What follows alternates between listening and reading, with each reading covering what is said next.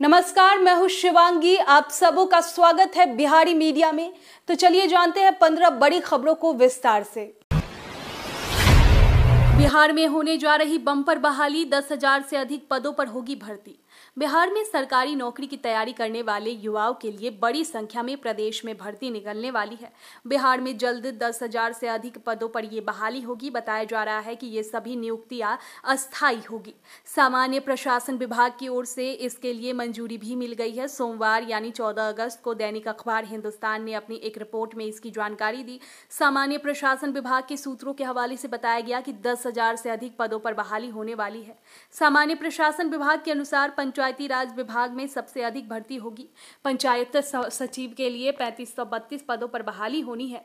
राजस्व एवं भूमि सुधार विभाग में राजस्व कर्मचारी के लिए पैंतीस पद। स्वास्थ्य विभाग में सहायक प्रधानाध्यापक के लिए 1318 पद एवं विशेषज्ञ चिकित्सक के लिए अन्य छह पद। श्रम विभाग में श्रम प्रवर्तन पदाधिकारी के लिए तिरसठ पदों पर भर्ती होनी है। बीजेपी नेताओं पर लाठीचार्ज मामले में पटना डीएम व एसएसपी की बड़ी मुश्किलें, ओम बिरला ने दिल्ली तलब किया। बीजेपी नेताओं और कार्यकर्ताओं पर बिहार की राजधानी पटना में हुए लाठीचार्ज मामले को लेकर स्पीकर ओम बिरला ने गंभीरता से लिया है। ओम बिरला ने पटना के डीएम और एसएसपी को दिल्ली तलब किया है। स्पीकर सचिवालय की ओर से बताया गया है कि पटना के डीएम और एसएसपी को 30 अगस्त को पेश होने के लिए कहा गया है। गौरतलब है कि 13 जुलाई को बीजेपी के द्वारा बिहार विधानसभा मार्च निकाला गया था, जिसमें भाजपा के सांसद जनार्दन सिंह सिग्रीवाल लाठीचार्ज के दौरान घायल हो गए थे। भाजपा सांसद जनार्दन सिंह सिग्रीवाल ने आरोप लगाते हुए कहा कि बिहार सरकार ने जानबूझकर लाठीचार्ज करवाया। ये जानते हुए भी कि मैं एक सांसद हूँ और मेरी हत्या करने की साजिश रच डाली थी। परिचय देने के बाद भी पुलिस कर्मियों ने बीजेपी सांसद को बुरी तरह पीटा था। जनार्दन सिंह सिग्रीवाल ने पूरे मामले की शिकायत लोकसभा अध्यक्ष से की थी और कहा था कि उनकी हत्या की साजिश की गई थी। बिहार के 11 जिलों में आज होगी भारी बारिश, मौसम विभाग का ऑरेंज अलर्ट बिहार के 11 जिलों में आज भारी बारिश की चेतावनी जारी की गई है। मौसम विभाग की ओर से किशनगंज और पश्चिमी चंपारण में अति भारी बारिश का ऑरेंज अलर्ट जारी किया गया है। वहीं पटना सहित राज्य के अधिकतर हिस्से में कल गर्मी से बेहाल रहे। अगले दो दिनों तक उत्तर बिहार की ओर मानसून की सक्रियता रहेगी। राज्य में अभी भी बत्तीस प्रतिशत बारिश की कमी बनी हुई है।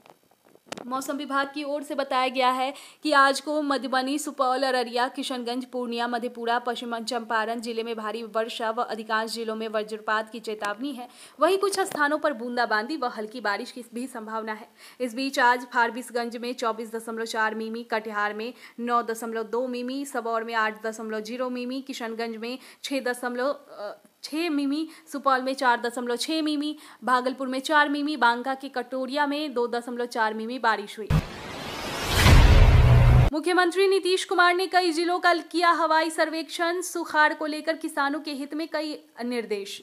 मुख्यमंत्री नीतीश कुमार ने शनिवार को हवाई सर्वेक्षण कर अल्पवृष्टि से प्रभावित औरंगाबाद, गया, नवादा, शेखपुरा, जमुई और नालंदा ज़िले के विभिन्न प्रखंडों का हवाई सर्वेक्षण कर स्थिति का जायजा लिया। इस दौरान मुख्यमंत्री के ने अधिकारियों का आवश्यक दिशा निर्देश भी दिए। सर्वेक्षण के दौरान मुख्यमंत्री ने अधिकारियों को निर्देश दिया कि अल्प वर्षापात के कारण उत्पन्न स्थिति पर पूरी नज़र रखे। डीजल अनुदान योजना के तहत किसानों को सिंचाई हेतु डीजल अनुदान के रूप में सहायता दी जा रही है। सभी जरूरतमंद किसानों को तेज़ी से इसका लाभ दिलाया जाए ताकि उन्हें राहत मिल सके। किसानों को 16 घंटे निर्बाध जिला आपूर, बिजली आपूर्ति की जाए तेज प्रताप यादव ने कोकोनट पार्क से हटाया अटल का नाम। नीतीश के वाजपेयी प्रेम पर बीजेपी ने उठाया सवाल। बिहार में सोमवार की सुबह सुबह नया राजनीतिक बवाल शुरू हो गया है जिसके सूत्रधार बने हैं आरजेडी नेता और पर्यावरण मंत्री तेज प्रताप यादव। तेज प्रताप यादव ने पटना में पूर्व पीएम अटल बिहारी वाजपेयी के नाम पर रखे गए अटल पार्क का नाम बदलकर कोकोनट पार्क कर दिया है। पटना के कंकरबाग इलाके में बने इस पार्क का नाम पहले भी कोकोनट पार्क था, लेकिन वाजपेयी के निधन के बाद यहाँ उनकी प्रतिमा लगाई गई और फिर इसका नाम अटल पार्क कर दिया गया। तेज प्रताप यादव के हाथों वापस इसका नाम कोकोनट पार्क करने के लिए सोमवार को वन विभाग ने लोकार्पण कार्यक्रम आयोजित किया है। पार्क से अटल नाम हटाने पर बीजेपी ने तीखी प्रक्रिया दी है और कहा कि मुख्यमंत्री नीतीश कुमार का वाजपेयी प्रेम दिखावा है। गाड़ी का साइज़ देखकर ट्रैफ़िक चालान कटेगी पुलिस। बाइक वाला एक हज़ार देगा तो कार वाला तीन हज़ार भरेगा। बिहार में गाड़ी चलाने समय अगर ट्रैफ़िक नियमों का पालन नहीं किया तो ये गलती आपकी जेब पर भारी पड़ सकती है। ट्रैफ़िक पुलिस ने जब नया फाइन चार्ज जारी किया, जिसके मुताबिक गाड़ी के साइज़ के हिसाब से जुर्माना पड़ेगा। मतलब ये कि बड़ी गाड़ी तो बड़ा जुर्माना, छोटी गाड़ी तो कम से कम एक हज़ार जुर्माना। अभी तक नियमों का उल्लंघन करने पर हर वाहन के लिए एक समान जुर्माना था। था, लेकिन अब इसमें बदलाव कर दिया गया है और बाइक, कार, ट्रक और भारी वाहनों के लिए अलग फाइन तय किया गया है। लाल बत्ती पार करने पर जुर्माना राशि इस प्रकार है। दो पहिया, एक हज़ार, तीन पहिया, दो हज़ार, चार पहिया, तीन हज़ार, मध्यम वाहन, चार हज़ार, भारी वाहन, पाँच हज़ार। स्टॉप साइज़, साइन के उल्लंघन पर जुर्माना राशि इस प्रकार है। दो पहिया वाहन एक हज़ार, तीन पहिया दो हज़ार, चार पहिया तीन हज़ार, मध्यम वाहन चार हज़ार, भारी वाहन पाँच हज़ार। राशन कार्ड धारकों के लिए अंतिम मौका 30 सितंबर तक करा ले ये काम, वरना नहीं मिलेगा सरकारी अनाज। सरकारी अनाज उठाने वाले उपभोक्ताओं को अपने राशन कार्ड बचाने के लिए एक और मौका दिया गया है। 30 सितंबर तक आधार सीडिंग कराने को कहा गया है। इस अवधि तक आधार सीडिंग नहीं होने पर राशन कार्ड को बंद कर दिया जाएगा। नालंदा ज़िले में पच्चीस लाख अठारह हज़ार सात सौ सत्तर उपभोक्ता है। इनमें बीस लाख संतानवे हज़ार आठ सौ पच्चीस उपभोक्ताओं ने अपने राशन कार्ड को आधार से सीडिंग कराया है। अभी भी चार लाख बीस हज़ार नौ सौ पैंतालीस उपभोक्ताओं ने अपने राशन कार्ड को आधार से सीडिंग नहीं कराया है।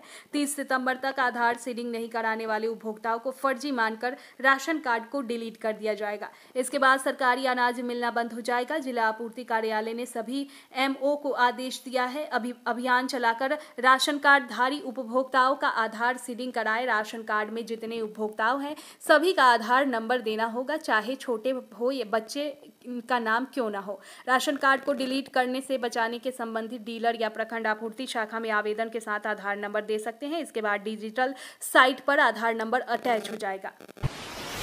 दिसंबर में खोल दिया जाएगा नवादा का ककोलत झरना। बिहार का कश्मीर कहा जाने वाला ककोलत के फ़ैन के लिए अच्छी खबर है। महीने से बंद ककोलत जलप्रपात इस वर्ष दिसंबर से सैलानियों के लिए खोल दिया जाएगा। वन विभाग इस वक्त ककोलत को नया लुक देने की कोशिशों में ज़ोर शोर से जुटा हुआ है। राजगीर की तर्ज पर ककोलत में इको टूरिज़्म विकसित किया जा रहा है। इसके जीर्णोद्वार के लिए सरकार ने चौदह करोड़ पंचानवे लाख की राशि स्वीकृत की है, जिससे नेचर सफारी व जू सफारी की तर्ज पर प्रकृति व पर्यावरण को नुकसान पहुँचाने वाले बिना प्रदूषण मुक्त वातावरण में सौंदर्यीकरण का कार्य प्रगति पर है। बिहार में सब्जियों के दाम अगले माह से घटने की उम्मीद। वित्त मंत्रालय ने कहा कि सरकार महँगाई को नियंत्रित करने के लिए कई ज़रूरी कदम उठा रही है। इसके तहत गेहूँ और चावल के भंडार को जारी करना, चावल चीनी के निर्यात पर प्रतिबंध लगाना और दालों तथा तिलहनों के आयात की अनुमति देना शामिल है। सरकार की उम्मीद जताई है कि बाज़ार में नई फ़सलों के आने के साथ ही अगले महीने से सब्जियों की कीमतों में कमी होगी। वित्त मंत्रालय के वरिष्ठ अधिकारी ने कहा कि सरकार ने महँगाई से बचाने के लिए कदम उठाए हैं और दूसरों की तुलना में हम काफ़ी बेहतर स्थिति में हैं। टमाटर की कीमतों को कम करने के लिए ज़रूरी उपाय किए गए हैं और इसका असर दिखने लगा है। कई राज्यों में दाम सौ रुपए प्रति किलो से नीचे आ गया है। वही प्याज के दाम पर काबू रखने के लिए भी प्रयास किए जा रहे हैं। कीमतों को नीचे रखने के लिए लचीली व्यापार नीति अपनाई गई है। सौर ऊर्जा से रोशन होगी पटना के सरकारी भवन। कोयले से उत्पादन होने वाली बिजली की खपत को कम करने और हरित ऊर्जा को बढ़ावा देने पर ज़ोर दिया जा रहा है। इसके तहत पटना ज़िले में अगले तीन महीने में 1300 सरकारी भवनों को सौर ऊर्जा से रोशन करने की योजना है। ब्रेडा तैयारी शुरू कर दी गई है। इसमें 40 किलोवाट लोड से ऊपर 300 भवनों में सोलर पैनल लगाया जाएगा। एक हज़ार भवनों में चालीस किलोवाट से कम के पैनल लगेंगे। तेरह भवनों को सोलर पैनल से लैस करने पर पैंसठ मेगावाट बिजली उत्पादन करने का लक्ष्य रखा गया है। बिहार में जातीय जनगणना पर फ़िलहाल रोक लगाने से सुप्रीम कोर्ट का इनकार, अगली सुनवाई 28 को। बिहार में जाति गणना पर रोक लगाने की मांग को लेकर सोमवार को सुप्रीम कोर्ट में सुनवाई हुई। शीर्ष अदालत ने कहा कि याचिकाकर्ता जब तक ये साबित नहीं कर देते कि जाति गणना कराना गलत है, तब तक बिहार सरकार के सर्वे कराने के फैसले पर रोक नहीं लगाई जाएगी। बिहार सरकार की ओर से पेश वरिष्ठ वकील श्याम दीवान ने पटना हाईकोर्ट के आदेश पर किसी तरह की रोक नहीं लगने की मांग की। सभी पक्षों की दलील सुनने के बाद पीठ ने कहा कि मामले की अगली सुनवाई 28 अगस्त को होगी। गौरतलब है कि पिछले सुनवाई के दौरान पीठ ने कहा कि जातिगत सर्वे कराने से क्या नुकसान है। साथ ही बिहार सरकार ने अदालत के समक्ष कहा था कि वो व्यक्तिगत डाटा जारी नहीं करेगी और सिर्फ़ सामूहिक डाटा ही जारी किया जाएगा। बिहार में 21 लाख कामगारों को बिजली अनुदान मिलेगा। भवन निर्माण से जुड़े राज्य के 21 लाख अधिक निबंधित कामगारों को बिजली बिल में बड़ी राहत देने की तैयारी है। श्रम संसाधन विभाग ने इस पर तेज़ी से मंथन चल रहा है। जल्द ही इस बाबत औपचारिक निर्णय लिया जाएगा। दिल्ली और पंजाब समेत देश के कुछ राज्यों में उपभोक्ताओं को निश्चित यूनिट तक मुफ़्त बिजली मुहैया कराया जा रहा है। इधर, बिहार में भवन निर्माण से जुड़े सभी निबंधित कामगारों को बिजली खपत पर अनुदान देने की कवायद चल रही है। राज्य में भवन निर्माण से जुड़े कामगारों में राज्य मिस्त्री हेल्पर, मजदूर, इलेक्ट्रीशियन प्लम्बर बढ़ई आदि का निबंधन किया जाता है। इसके लिए बिहार भवन एवं सन्निमाण कर्मकार कल्याण बोर्ड बना हुआ है। बीते दिनों श्रम संसाधन विभाग सुरेंद्र राम की अध्यक्षता में बोर्ड की उच्च स्तरीय बैठक हुई। इसमें तय हुआ कि भवन निर्माण के निबंधित कामगारों को बिजली अनुदान दिया जाए। अनुदान के रूप में कितनी राशि दी जाएगी, इस पर विमर्श चल रहा है। ये ज़रूर तय हुआ है कि उतनी राशि दी जाए जो उनके लिए उपयुक्त साबित हो। कामगारों को अभी पोशाक राशि के तौर पर पच्चीस और चिकित्सा सहायता मद में सालाना तीन हज़ार रुपए दिए जाते हैं। बिजली अनुदान अनुदान के रूप में भी एक मुश्त राशि दी जाएगी। विमर्श में आया है कि हर महीने दो ढाई सौ रुपये बिजली अनुदान दिया जाए। इस हिसाब से सालाना चौबीस सौ से तीन हज़ार रुपये बिजली अनुदान के तौर पर मिल सकते हैं। हालाँकि राशि अभी तय नहीं हुई है। इसमें कमी वृद्धि संभव है। जवाहर नवोदय विद्यालय में कक्षा छह में प्रवेश की तिथि 25 अगस्त तक बढ़ी। जवाहर नवोदय विद्यालय में कक्षा छह में दाखिले के लिए ली जाने वाली जेएनवीएसटी परीक्षा 2024 के लिए ऑनलाइन फॉर्म भरने की तिथि 17 अगस्त को बढ़ाकर 25 अगस्त 2023 कर दिया गया है। ऐसे में जो अभ्यर्थी कक्षा छः के लिए परीक्षा हेतु आवेदन करने में इच्छुक है, वो पच्चीस अगस्त दो हज़ार तेईस तक अपना आवेदन फॉर्म भर सकते हैं। पशुपति पारस पर गर्म हो गए चिराग पासवान हाजीपुर सीट पर अब तक का सबसे बड़ा खुलासा। लोक जनशक्ति पार्टी रामविलास पासवान के राष्ट्रीय अध्यक्ष चिराग पासवान ने हाजीपुर सीट को लेकर बड़ा खुलासा किया है। वो न सिर्फ़ अपने चाचा पशुपति कुमार पारस पर गर्म हुए, बल्कि बता दिया कि इस सीट पर किसका हक है। इस दावे का उन्होंने कारण भी बताया और पशुपति पारस को दो टूक में जवाब दे दिया। इस सीट को लेकर चिराग पासवान अब तक सबसे बड़ा बयान और दावा माना जा रहा है जिसके बाद सियासी गलियारों में चर्चा तेज है। शुक्रवार को एक प्रेस कॉन्फ्रेंस के दौरान चिराग ने जमकर हमला बोला है। चिराग पासवान ने कहा कि ये गठबंधन की बात है और गठबंधन में उक्त वक्त ये गलत दृष्टि में दिखता है जब दो घटक दल एक सीट को लेकर जनता के बीच में खींचतान करते हैं। पशुपति पारस पर तंज कसते हुए कहा कि अगर गठबंधन से आपको ग्रीन सिग्नल मिल जाए तो आप दावा कर सकते हैं। चिराग ने कहा कि हम दावा इसलिए कर रहे हैं क्योंकि हम गठबंधन में जाने के पहले तमाम अपनी चिंताओं पर चर्चा कर चुके हैं। अगर आज हम हाजीपुर सीट को लेकर दावा की बात करते हैं तो गठबंधन में हमको ये अधिकार मिला है कि हम ये बात बोले। बिहार सरकार ने जारी किए रोज़गार के आंकड़े छह वर्षों में 2017-18 में मिला छब्बीस प्रतिशत निबंधित युवाओं को रोज़गार।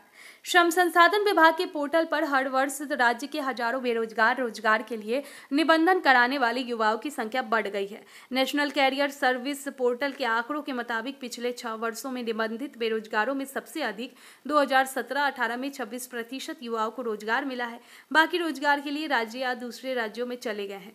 साथ ही 2018-19 में 18 प्रतिशत 2019-20 में 14 प्रतिशत, जो दो हज़ार में नौ दशमलव सात प्रतिशत, दो हज़ार में छः दशमलव नौ प्रतिशत, दो हज़ार में तेईस दशमलव एक ज़ीरो प्रतिशत बेरोजगारों को रोज़गार मिला है, दो हज़ार तेईस और चौबीस में अब तक छब्बीस बेरोजगारों को रोज़गार मिला है।